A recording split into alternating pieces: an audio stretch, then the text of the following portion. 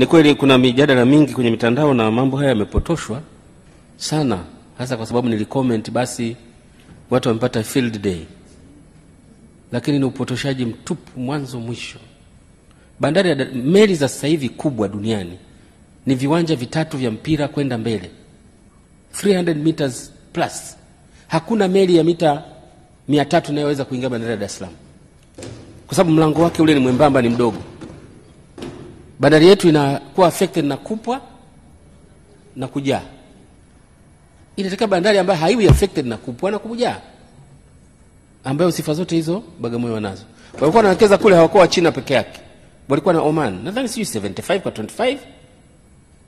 Waomani hawa ambao tumewakataa na hawa wameshaweka mkataba Zanzibar kujenga bandari mpya ndani ya siku mia moja za Rais Hussein Mwinyi.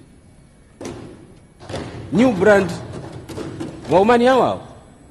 Ambao sasa, kwa hiyo ni vitu ambavyo hata hivi vitu tunapochangia miaka mitano mpango wa maendeleo, hakuna ill feelings yoyote kwa upande wa wabunge kama mnavyochangia.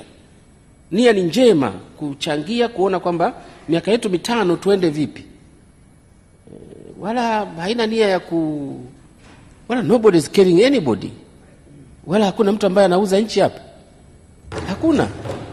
Hakuna.